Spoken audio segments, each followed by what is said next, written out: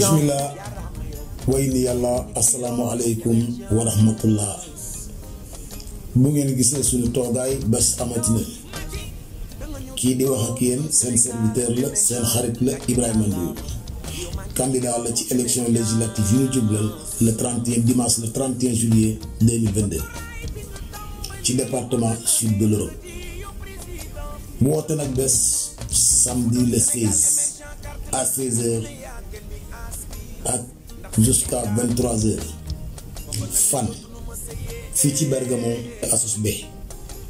lan lañ fa woote war a doon suba seen futur député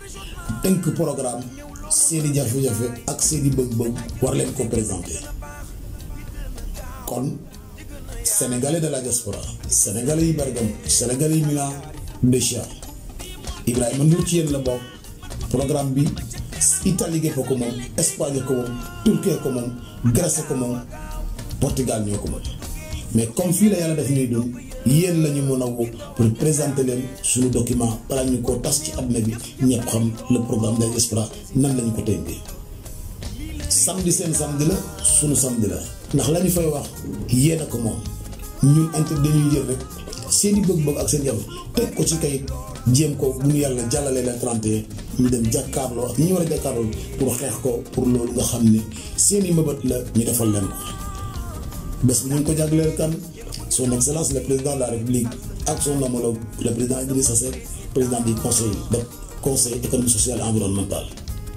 kon Sénégal de la diaspora bi ñu ngi leen di woo di leen nuyu di leen masawu coono di noonu samedi seen samedi la seen programme la ndax lañ fay waxtaane seen i jafe-jafe la asalaamaaleykum wa rahmatullah ñun dañu la doon xaar boobu ba tey